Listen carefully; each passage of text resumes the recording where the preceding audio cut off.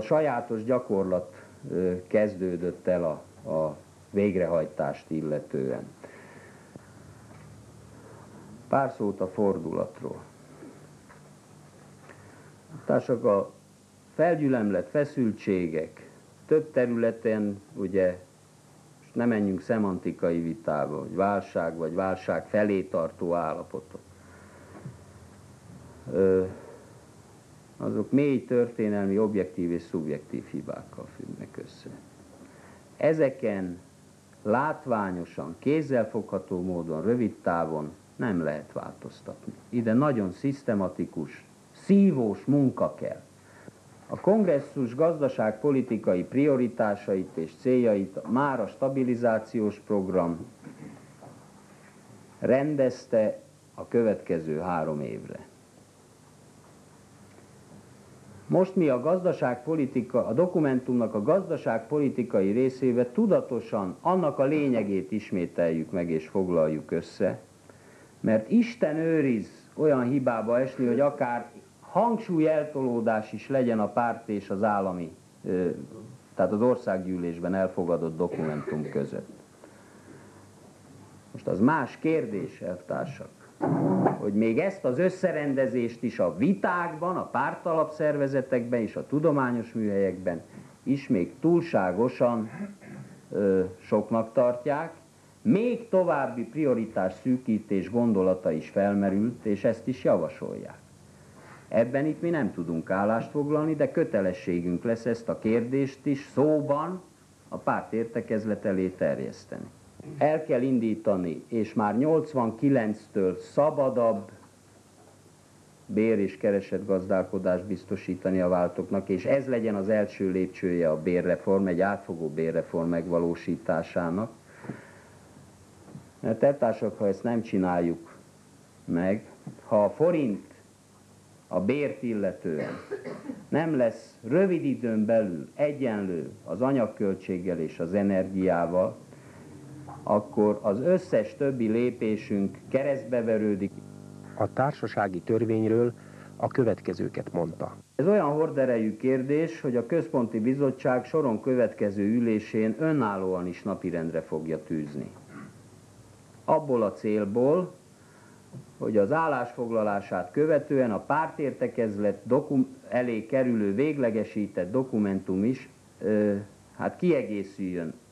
Nem csak ilyen néhány jelzett mondat erejéig, hanem bővebben, és a pártértekezlet is foglaljon ebben állást.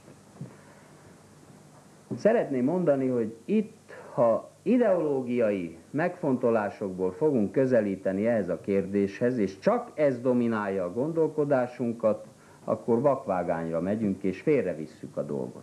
Ha mi nem tudjuk megoldani és mozgásformáját megtalálni annak, hogy az eszközök minél gazdaságosabb felhasználása az az emberek életszínvonalát, mindennapját érintő tevékenység legyen, és vezérebb legyen, akkor mi nekünk csak itt jelszavakban fog, lesz, és írhatjuk a következő kongresszusba is, hogy legyen struktúraváltás, alkalmazkodó képesség, és így tovább.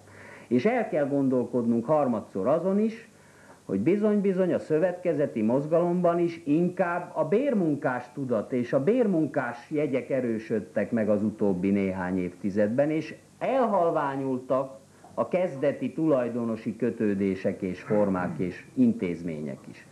Tehát van itt bőven feladat, és ez nem egy, ez nem egy csodaszer, ez a társasági törvény, csak ha megszavazza központi bizottság, majd utána az országgyűlés. És mi 89-től ezen az úton nem kampányjal, nem úgy, mint legutóbb a vállalatirányítási formáknál mondtuk, hogy 85 eddig ennyien alakuljanak át, hanem rábízva a gazdálkodó szervezetekre, hogy mi előnyösebb nekik, és tegyék, megengedve azt, hogy a magános is betegye a pénzét, mert jobb, ha nem kriptát épít, még életébe, meg nem pazarló fogyasztást csinál, hanem bele teszi kockázatot is vállalva a felhalmozott, minden bizonyal a többségnél becsületes munkával megszerzett jövedelmét a szocialista vállalatba, akkor megkérdezem, hogy hol kell itt ideológiai görcsökkel küzdeni, és miért kell ettől annyira félni.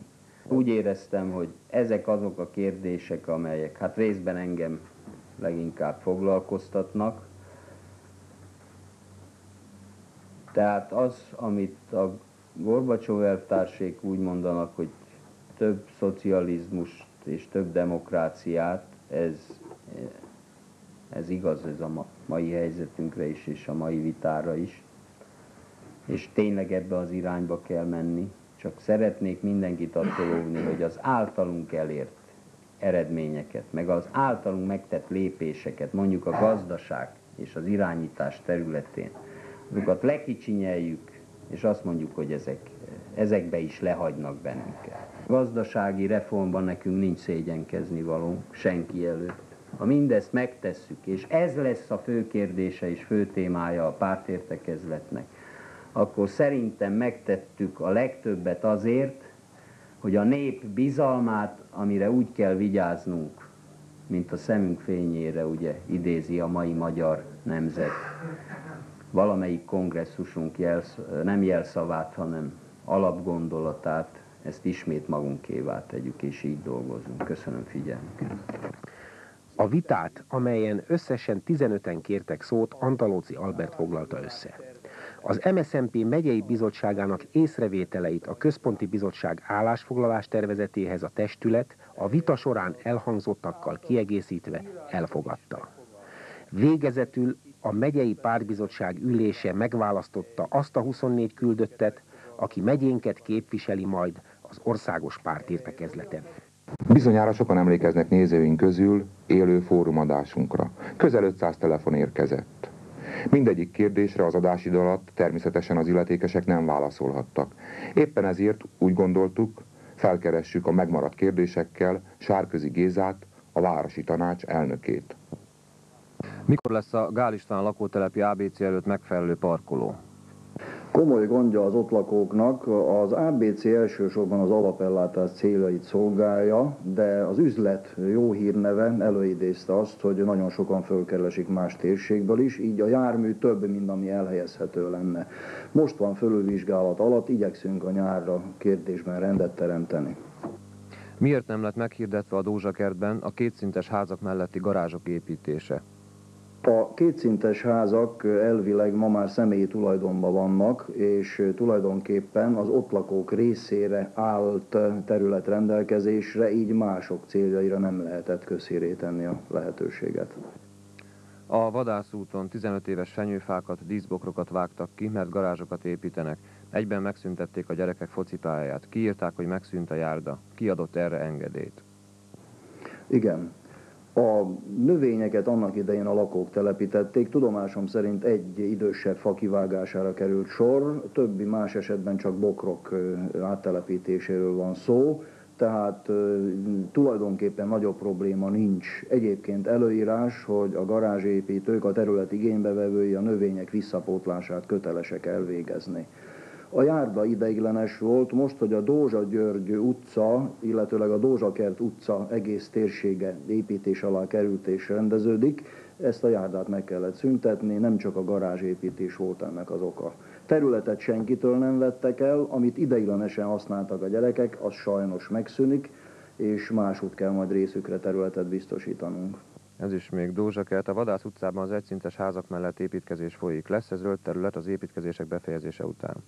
Igen, a zöld terület a garázsépítésre igénybe vett terület kivételével megmarad, közvetlenül lakásokhoz tartozó zöld területről van szó. Épp az elmúlt napokban a lakók fölvetették és kérték, hogy a zöld területet vehessék végleg birtokba, gondolkodik a tanács azon, hogy eladja. Ezzel bevételét tudná növelni, és a zöld terület gondozását természetesen a lakók tovább folytatnák.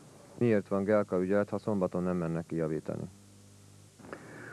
Az ELKA, mint tanácsi vállalat szombaton is az ügyfelek rendelkezésére áll. Ennek keretében délelőtt 9 óráig, ha bejelentik, hogy valahol probléma van, akkor kimennek, de 9 órát követően a szerelők már a helyszíneken tartózkodnak. Ezután csak arra van mód, hogy munkaidő végén értesüljenek az újabb címekről, az újabb feladatokról.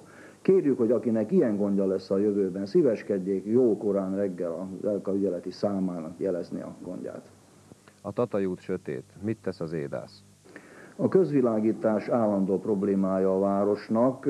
6700 lámpaoszlop fenntartásáról kell gondoskodni, 8400 világ. Ilyen 15-17 százalék közötti hibaforrással kell számolnunk. Sajnos a korszerűtlen területen gyakoribb ez a helyzet, és nehezebb a helyreállítás is. Hát az IDASZ figyelmét felhívtuk a Tatai út ügyének a további gondozására. Szabad orvosválasztás van, szülés előtt áll, miért nem választhat szülészorvost? A jelenlegi közegészségügyi előírások szerint a körzeti járóbeteg ellátásban van egyedül lehetőség arra, hogy akár felnőtt, akár gyerek rendelést illetően orvosválasztásra kerüljön sor. A kórház vezetői intézik, az ő hatáskörükbe tartozik az az ügy. Ezen kívül más lehetőség nincs, tehát így a szülésorvos választására sincs ma törvényes lehetőség. A turulatti kertek vadpusztításai zavarják a kertulajdonosokat. Mi történik ezek orvoslására? A vadgazdálkodás devizaszerző és így nemzeti érdek, hogy tovább folyjon.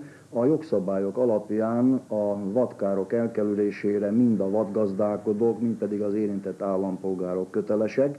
Tehát egy ilyen kölcsönösség áll fenn, az ingatlan tulajdonosoknak is feladata a védelem biztosítása. Én azt kérem és javaslom, hogy az érintett területen vizsgálják felül a kerítéseket, magasítsák meg, és adott esetben, ha ennek ellenére károk következnek be, akkor a Városi Tanács termelés és ellátás felügyeleti osztályánál tegyenek azonnali bejelentést, amikor a kivizsgálás és a kárrendezés megtörténik. Miért mostoha kertváros? Garázsépítés miért nem lehet ott is? Kertváros nem mostoha, Kertvárosnak két főépítési területe van, egyrészt a családi házas övezet, ahol a telkeken belül a garázsépítés megoldható volt, a telepszerű többszintesen beépített területeken garázsokat építettünk az épületek alsó szintjére, eddig nem merült fel intézményesen több garázs elhelyezése. Ha most a kertvárosiak erről a kérdésről tudomást szereznek, és nálunk jelentkeznek a műszaki osztályon, mód van arra, hogy telepszerűen garázsokat építsünk. Egy területet meg is jelölök, az ABC áruház mögötti térségben olyan 160-180 garázs telepítésére lehetőség van. Kérjük, hogy akinek igénye van, jelentkezzen. A felsői vasútállomás és autóbusz végállomás nagyon elhanyagolt. Miért nem történik valami? A bistró melletti két épület romokban mi történik velük? Igen, a kérdés komplex. Tatabánya felső vasútállomás, mint személyforgalmi pályaudvar meg fog szűnni. Tervek szerint a jövő esztendőben, de legkésőbb 1990 végéig felhagyják. Tehát a térségben értelemszerűen nagyobb rendfenntartás, felújítás nem folyik. Természetesen a takarítás azért lehetne intenzívebb, és erre intézkedtünk a továbbiakban is, de annak a megértését kérjük, hogy oda rendkívüli kiadások már nem finanszírozhatók. A bistró melletti épületek az IKV kezelésében vannak, jelenleg mint átmeneti szükséglakások szerepelnek, amennyiben a külső képük olyan változáson megy át, hogy indokolt, akkor a felújításokról, tatarozásokról gondoskodás történik. Ha 30 millióba kerül a telefonközpont, akkor a 4000 vonal csak 7500 forintba kerül, és nem 25 ezerbe. Igen, itt valószínűleg a tájékozottság nem sikerült. Mi hangsúlyoztuk, és a fórumkor én magam mondtam, hogy 31 millió forintba kerül maga a távbeszélő központ, 2000 vonalas bővítése, az ezen kívül szükséges 49 millió, az pedig a hálózat kiépítésére kell. Hát a kettőt egymástól elválasztani nem lehet, mert hálózat nélkül sajnos a telefon beszerelések nem eszközölhetők. Januárban fizetett 700 forint tehót. A dolgozók lapjából értesült, hogy csak 600 forint lenne. Most mennyit kellett volna fizetnie? A tanácsrendelet értelmében évi 600 forint a tehó alapösszege, ezt mindenkinek egy határozatban személyesen kézbesítettük. Hát ha valaki ezt elfelejtette volna, vagy nem áll rendelkezésre, most megismétlem, hogy 600 forint az alapösszeg, nincs szó emelkedésről. Kedvezményekről inkább van szó, de ebben az érintettek tájékozottak. A további kérdések megválaszolására egy hét múlva a következő május másodikai műsorunkban kerül sor. Az elmúlt héten sajtótájékoztatót tartottak a megyei rendőrfőkapitányságon, ahol dr. Kerék József ezredes Megyei főkapitány tájékoztatta az újságírókat, és válaszolt kérdéseikre. Mi a 80-as években a felgyorsult, növekedett a bűnözés száma Magyarországon. Mi volt a helyzet az elmúlt esztendőben Komárom megyében? Az elmúlt esztendőben Komárom megyében a bűncselekmény számok lényegében változatlanok maradtak az előző évhez viszonyítva. Mi úgy fejezzük ezt ki, hogy körülbelül stagnált a bűncselekmények száma az utóbbi három évben. Számban ez mit jelent? Számban ez 5013 bűncselekményt jelent. Mi motiválja ezeket a bűncselekményeket általában? A bűncselekményt lényegében azok motiválják, amelyek a korábbi években is jelentkeztek. A megnövekedett gazdasági nehézségek, az ebből adódó gondok, bajok, társadalmi gondok, a nem kellő családi környezet, több esetben a könnyen munkanélkül szerezhető jövedelmek. Lényegében ezek az, amelyek fő vonatkozásban motiválják a bűncselekményeket. Komárom megye milyen helyet foglal el a bűnözési statisztikában? Komárom megye a bűnözési statisztikában a tizedik helyet foglalja el, a tízezer vétőképes le lakósra jutó bűncselekmények számát tekintve. Mit tehet a lakosság a bűnözés ellen?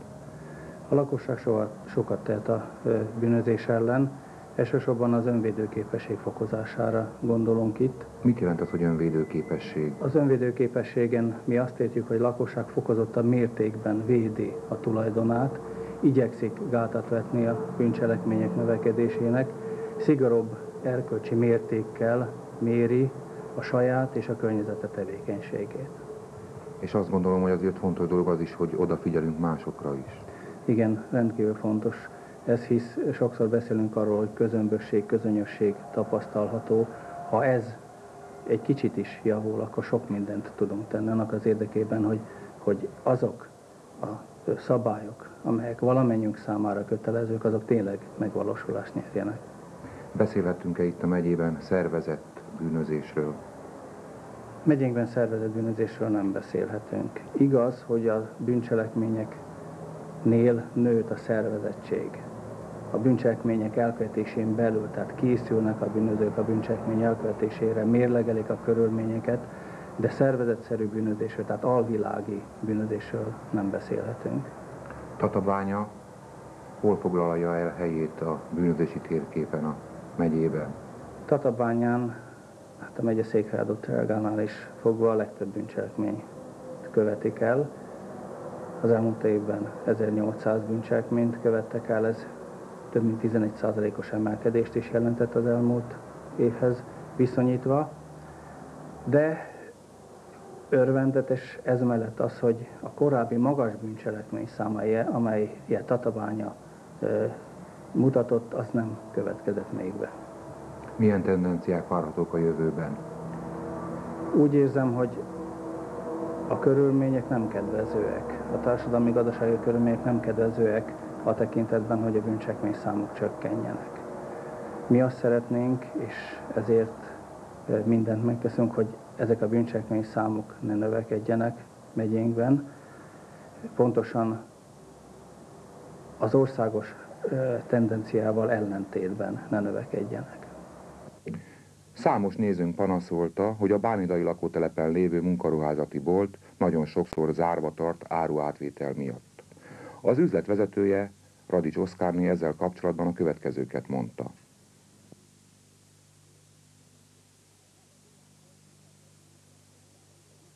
Ez nem egy olyan volt, mint a többi üzlet, hogy pici, kevés árut kap, ez munkaruha volt. Nekünk bejön egyszerre egy teherautó, vagy, vagy egy teherautó, meg egy pótkocsi áru, és az olyan nagy mennyiségű áru, hogy képtelenek vagyunk azt mi egy óra alatt, vagy fél óra elrakni.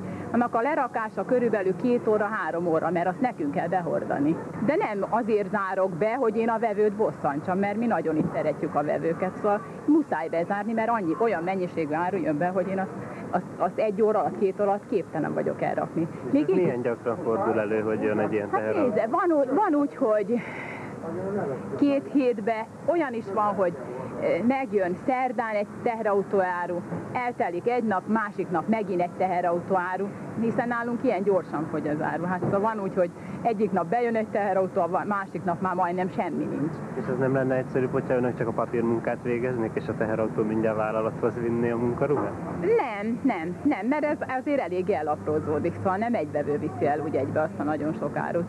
Csak azért muszáj bezárni, mert ugye nagy felelősséget több millió árura vigyázni, hát bejönnek négyen, öten, én azt se látom, mit visznek be a próbafülkébe próbálni, mert mi tulajdonképpen nem csak közületeket szolgálunk ki, hanem rengeteg olyan vevő van, aki az utcáról, mit mit a lakóterepről, sőt, rengeteg helyről jönnek hozzánk vásárolni, mert talán nálunk minden egy kicsit olcsóbb is. És általában meddig szokta zárva lenni akkor, hogyha áruljon egész nap, akkor meg is ennyit? Nem, olyan nem volt még, hogy egész nap zárva legyünk. Olyan volt, hogy esetleg megjött délbe az áru, és már nem tudtunk kinyitni, mert még ötre be se fejezzük, hanem még itt maradunk, hogy másnap reggel ki tudjak nyitni. Pénteken jött árunk, és kiírtuk délbe, hogy nyitás hétfő, mert nem tudtuk elrakodni, annyi volán áru jött be, mert a volánosokat mi öltöztetjük, és az rengeteg öltöny, meg mindenmire mindent fölakasztottunk meg, hogy ne lépjünk rá, mert a földön tele van áruval. Egy néni visszajött, ez igaz, azt mondja, hogy már negyedszer jön vissza, mondom, hát néni, aranyos, ne négyszer tessék vissza, mert kiírtuk, hogy csak hétfőn nyitunk. Nem gyakori, annyira nem gyakori, hiszen nem kell bezárni, szó sincs róla, hogy bezárjunk. Mint ahogy most sincsenek zárva. Most se vagyunk zárva, mert most csak gumicsizmát kapunk. Igaz, hogy rengeteget alig fognak elférni a vevők, de hát ez ez nem gond. Reméljük nézőinket kielégítette ez a válasz. Az igazsághoz az is hozzátartozik, hogy a közületek teszik ki az üzlet forgalmának 90%-át, és az ő kiszolgálásuk az áru átvétel alatt is zavartalan. Más téma, néhány napja forgalomkorlátozás nehezíti az amúgy is rendkívül balesetveszélyes autóút forgalmát Budapest Tatabánya autópálya vége után. Az amúgy is rendkívül balesetveszélyes részen felújítási munkákat végeznek, ami nagyon megnehezíti a különben is két sávra szűkülő forgalmat. A Budapest felől az autópályáról nagy sebességgel érkező járművek vezetőinek bizony nagyon figyelmesen kell vezetniük, hogy elkerüljék a balesetet.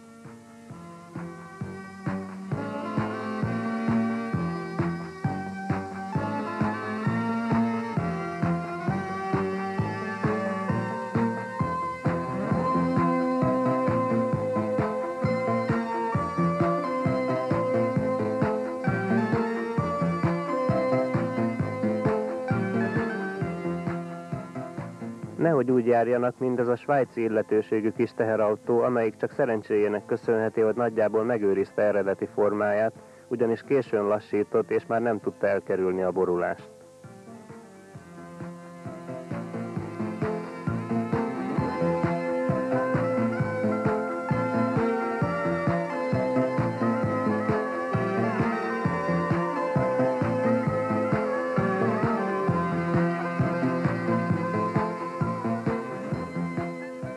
Munkálatok még körülbelül egy hétig tartanak. Kérjük, figyelmesebben vezessenek.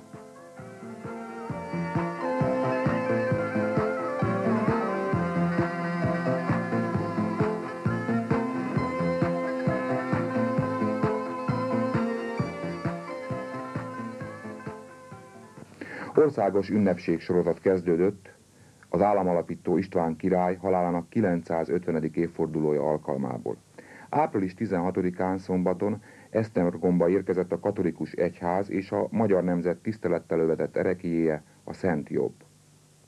A magyar nemzet történelmi erekéje előtt az állami, társadalmi és egyházi vezetők mellett több ezren tisztelettek. Tisztelettek azelőtt a jobb előtt, amely keményen tartotta az országunkat megvédeni hivatott kardot. Máig szóló tanulság államalapító királyunk példája, amely erősítheti bennünk a szülőföldhöz való kötődést, a nemzet haladásának ügyét. Az erekétől vasárnap délután búcsúztak el Esztergom egyházi és állami vezetői. A Pécs Antal Bányaipari Technikum történelem szakkörének vendége volt Székely András Bertalan, szociológus, aki az Országos Széchenyi Könyvtár Magyarságkutató csoportjának munkatársa. Munkájáról, a magyarságtudat fogalmáról és a nemzettudatról beszélgettünk vele. Hát azt hiszem, hogy a Magyarságkutató csoportról azon a néhány közleményen kívül, ami a központi, illetve a megyei sajtóban megjelent, nem túl sokat tudnak. Tehát valóban érdemes ezt a munkahelyet, sőt a tudományág egészét, amelyet hungarológiának vagy magyarságtudománynak nevezünk, egy néhány mondatot szólni. Magyarságtudomány kifejezést valamikor a század 10-es, 20-as éveiben használták először, és a nemzetünkre vonatkozó irodalmi, néprajzi, történelmi, antropológiai, szociológiai és egyéb ismeretek együttesét jelentette, illetve a közös, a sajátos jegyek keresését, amely hát soha sem volt szembeállító más szomszéd népekkel, hanem a kelet-európai, illetve közép-európai népek együttesen a saját megkülönböztető jegyeinket, az önismeretet szolgálta. Számos intézmény és komoly tudományos eredmények jellemezték ezt a magyarságkutatást, amely a 40-es évek végén a nemzetközi helyzet, illetve a hazai politikai viszonyok rosszabbodásával a nem kívánatos kategóriába került. Négy évtizednek kellett eltelnie, még a 80-as évek közepén ismét polgárjogot kapott Magyarországon az a tudományág és kulturális kormányzat, illetve a párt vezetés javaslatára, illetve helyeslésével létrejött 1985-ben a Magyarságkutató csoport az én munkahelyem. Konkrétabban mivel foglalkoznak? Három területben foglalhatnám össze mindazt, ami a mi kutatási területünk. Az első és legfontosabb a határon túli magyarság komplex vizsgálata.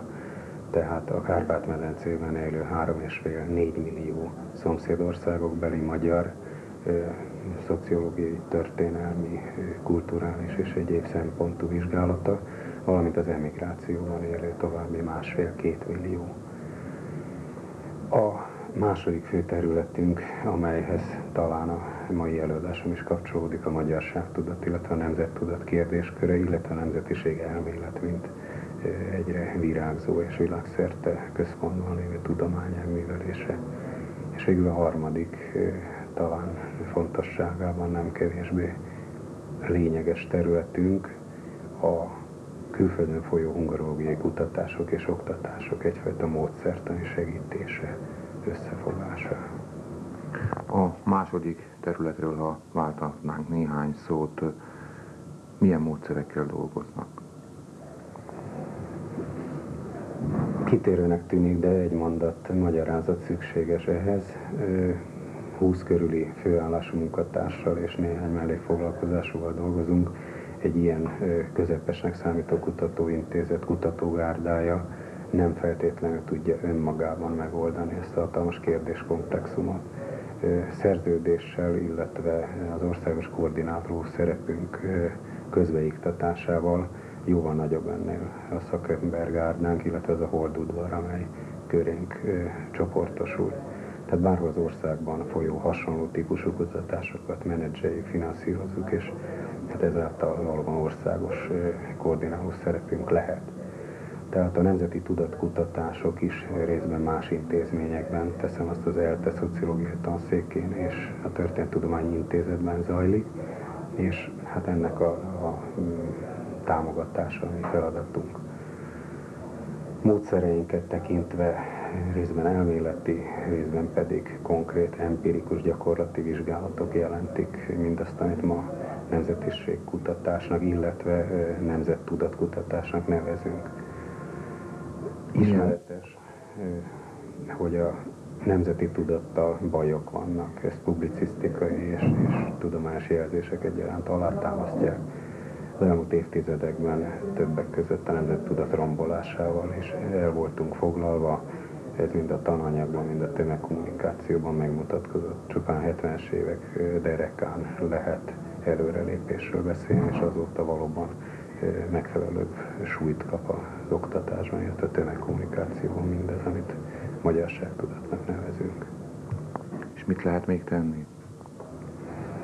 Hát mivel a nemzettudat az egyrészt a múlt tudatból, tehát a történeti tudatból, másrészt a helyzet tudatból, a jelenre vonatkozó vizsgálatok ismeretéből, és hát az ennek alapján kialakuló jövőképből áll. Hát mind a három területen erősíteni kéne a magyarságtudatunkat. Rendkívül negatívnak tartom, hogy a fölnövekvő nemzedékek nagy része nem tudja, hogy a világ 15-16 milliós magyarságának egyharmad része határon túl él. Az összetartozás érzetét kellene erősítenünk, természetesen úgy, hogy a bennünket körülvevő, sőt nemzetiségként a mai országterületén, országterületen belül is élő e, szomszéd népeket megismerjük, és valahogy a sorsközösséget tudatosítsuk. Ez hogy jelentkezhet az iskolákban, vagy jelentkezik-e ma egyáltalán? Amennyire ismerem az utolsó években kiadott középiskolás és általános iskolás tankönyveket, egyfajta jó irányú változás elején vagyunk. Mindenképpen tudatosítani kellene a történelmoktatásban, az irodalomoktatásban, a földrajzoktatásban azt, hogy léteznek politikai határok, viszont a magyar nemzet ennél tágabban terül el, önhibáján kívül békekötések és nagyhatalmi döntések következtében. Attól még egy nemzet vagyunk, hogy határok választanak el bennünket, nem ezek az emberek hagyták el a hazát, hanem a határ lépett át rajtuk. Május 1 ünneplése már április 29-én elkezdődik a Puskin Művelődés Központ előtti téren. 16 órától lesz minimajális, ebben kirakodóvásár, térzene, gyermekeknek játékos vetélkedők. 17 órától zenés májusfállítás, nemzetiségi műsor, szlovák nemzetiségű együttesek. És 18 órától 24 óráig utcabála Puskin előtt. 30-án szombaton a Közművelődés Háza, az Úttörőház és a Puskin Művelődési Központ közös szervezésében a Közművelődés Ház előtti téren a következő programok várják az érdeklődőket. 10 órától dobozdobálás, büfé, bioritmusmérés, vásárosok, horgászat a szökőkútban a gyerekeknek, fagyizó, 15 órától vidám gyerekműsor, bohóc tréfák, mutatványosok. 18 órától a Közművelődés Háza színház termében Beatrice koncert. 19 órától a sörkertben sörtkertnyitó bált rendeznek. Rossz idő esetén a Közművelődés házában tartják meg. Április 30-án még lesznek sportrendezvények is, mégpedig 11 órától a BHGSE és a Kandó Kálmán Főiskola MB2-es kosárlabda mérkőzés, női kosárlabda mérkőzésre került sor a Bánydai általános iskolában. Délután fél háromtól az erőműi sportpályán a Tatabányai Erőmű ifjúsági és a TBSC ifjúsági labdarúgó mérkőzésre kerül sor. 15 órától Komép Kaposvár MB1-es férfi röplabda mérkőzés a Dózsakerti sportcsarnokban. 15 órától TBSC postás MB1 és női kézilabda mérkőzés a Városi Sportcsarnokban. 17 órától sportmajális a Jubileum Sportparkban. Május 1-én vasárnap az ünnepi felvonulás idén is 10 órakor kezdődik a felszabadulás téren, ahová a szervezők várják a város dolgozóit. Programok lesznek délután a Népfront és a Puski Művelődési Központ közös szervezésében a Dózsakerti Sétáló utcában. Majális, Polbit együttes játszik, szlovák nemzetiségi gyermek néptánc csoport műsora lesz, majd pedig az Opál Társas Táncklub mutatkozik be fél öttől fél hatig. 18 órától 20, 23 óráig, tehát 18 órától 23 óráig utcabál lesz a Héregi Sramli zenekarral. Szintén folytatódnak ezek a majális programok május 1-én délután a közművelődés háza előtt hírmondó sátor, portéka sátor, iparművészeti tárgyak vására, lovaglásra lesz lehetőség, akinek erre van kedve, májusfa kitáncolás, táncház a Tatai Pötörke táncegyüttes vezetésével. Fél hattól Kon Zsuzsa és Gródi János koncertje a Közművelődés Háza színház termében. Tombola is lesz, a fődi egy három személyes sátor. 14-től 24 óráig zenés, táncos parti a Felsőgallai Széchenyi Művelődési Ház udvarán. Közreműködik Hát Péteri zenekara. Tehát a felvonulás 10 órakor kezdődik, még egyszer mondom, a felszabadulás téren mindenkit szeretettel várnak a szervezők. 40 éves a Magyar Honvédelmi Szövetség, az évforduló alkalmából ünnepi esemény sorozat zajlik városunkban, ennek részeként gyermekrajzkiállítás nyílt az ötös számú általános iskolában. Miután pályázatról volt szó, A beérkezett közel 450 munkából 17-et díjaztak. Lábjegyzetként ez a kiállításhoz érdemes megjegyezni, hogy az iskolákat levélben előre értesítették arról, kik azok a tanulók, akik díjat nyertek. És a zsűri döntés alapján átvehetik megérdemelt jutalmukat. Nos, néhányukat mégis csalódásért, hiszen nevüket nem olvasták fel az ünnepi díjkiosztás alkalmából. Valószínűleg valami adminisztrációs hiba történt. Kár, hogy a szervezők figyelme nem terjed ki erre, hiszen gyerekekről van szó, akik joggal érezhetik úgy, hogy igazságtalan sérelem érte őket.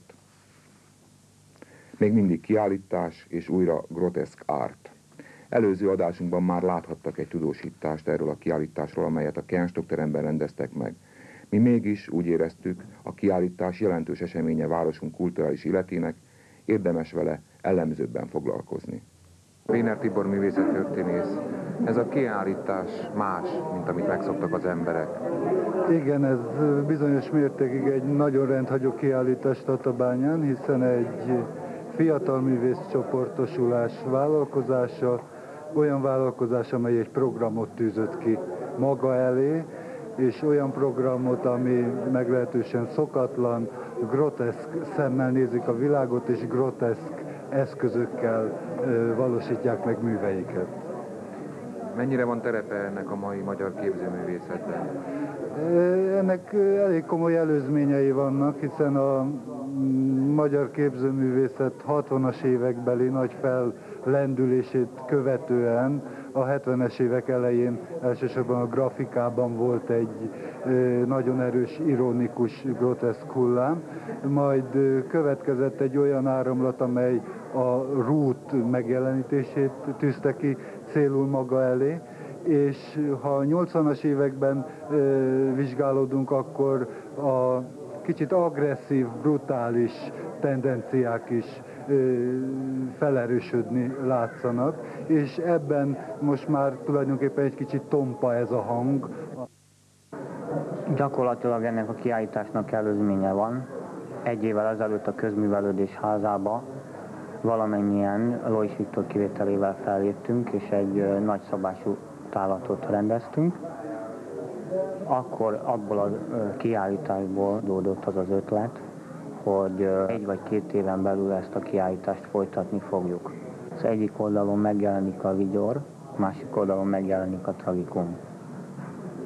És megjelenik korunk, ezért ez egy korszerű groteszk realizmus, ami itt van, hisz ez 1987-88-ban készült művek jelennek meg a kiállításon. A groteszk szó maga fogalom mindig is mást jelentett, és gyakorlatilag a 16. században jelölt fogalom ma már nevetségesnek tűnik. A fogalom az élesedett és egyre keményebbé vált, a fogalom mögötti tartalom, és gyakorlatilag azt hiszem, hogy ez a tartalom ezen a kiállításon korszerű módon korunkat tükrözve megjelenik.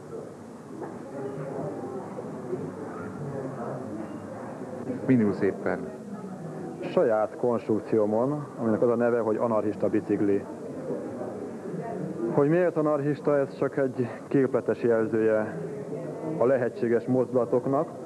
És van egy középen egy kerék, amelyik egy sorba futna a többi kerékkel, de ez a kerék sajnos a mozgás következtében ide-oda kileng. Tehát a hagyományos kerékpár megszokott járásához képest a középső kerék renitens módon össze-vissza kalimpál. Tehát, hogyha a gondolat vonalát követve egyértelműen mondanánk, hogy anarchista, akkor ezt a jelzőt így takarná. Ez a középső kerék renitens módon mozog, tehát tulajdonképpen nem áll be a sorba. 1982-ig Tatabányán élt Lois Viktor szobrászművész, Szentendrére költözött. Mennyiben változott az élete? Semmit. Magyarország szerintem területileg nem különíthető el, szellemileg most már egyre ritkábban nevezhetnénk ilyen gócokat. Tulajdonképpen ez egy dacos ö, elmenetel volt. Miért? Hát miért? Mert mm, nem mondanám azt, hogy az itteni tevékenységem, ami elég egyedi volt a magam műhelyével, a magam mm, akkor már itt elkészült bútoraimmal és hasonló fémtárgyakkal, a korai faszobrokat nem is mondva, ami most érdekes módon tíz év után kell el az Amsterdami Christie's aukción. Tehát valójában az a akkori értékek tíz év után, mint fa plastikák sem avultak el, ha úgy gondolom. Nem is 10 év, most már, már 15 év, ha belegondolok. És ha kint elfogadják, mint, mint alkotást, akkor én úgy éreztem, hogy úgy érzem a mai napig is, hogy egy az, hogy nem avultak el a tárgyak, kettő az, hogy akkor az akkori időt úgy, ahogy hülyen követve, mert nekem az akkori fatárgyak, az volt az elképzelésem, hogy egy bizonyos hiányt pótolni az avantgard és a, a, a Magyarországon valójában az avantgard, mint soha nem elfogadott stílusirányzatot szerettem volna egy kicsit így utólag vissza, vagyis egyáltalán a köztudatba fel foghatóvá tenni. Gerber Pál, Romlott Miki Egér című kép előtt állunk. Mitől romlott el ez a Miki Egér? Hát, hogy pontosan mitől romlott el, azt nem tudom. Tulajdonképpen Szóval két értelemben romlott ez a mi kiegér. Egyrészt hát tényleg úgy, hogy mint erkölcsi értelemben értelmezhetjük romlottnak, másrészt pedig maga a felrajzolás és a felfestése romlott, illetve elrontott, direkt ilyen elrajzolt módon került fel a vászonra. Na most a, az indíték az tulajdonképpen az volt, hogy megjelentek két-három évvel ezelőtt ezek a Walt Disney figurák a trikókon, és hát engem borzasztóan irritáltak a nagyon-nagyon kiírt, nagyon-nagyon szabályos, kikristályosodott, úgyis mondhatnám, hogy szép formáikkal, és ezzel formáltam el, hát ebből lett a romlott Miki Egér. Azt a programot, amit ezek a művészek meghirdettek maguknak, maradéktalanul teljesítik. Ezek a művek nagyon időszerűek, és nagyon jól rímelnek arra a korszakra, arra a atmoszférára, ami, amelyben létrejöttek. Ezek a művészek vagy Komárom megyéből elszámozottak, vagy jelenleg is Komárom megyeiek. Jelent ez valamit? Ez egy érdekes statisztikai képlet, hét kiállító van, ebből mind a heten tulajdonképpen Komárom megyeiek, de napjainkban csak ketten élnek és dolgoznak itt. A többiek azok visszatértek szülőhelyükre vagy iskoláik elvégzési helyére, és ez jelzi azt, hogy Komárom megye mennyire tudja megtartani a fiatal tehetségeket.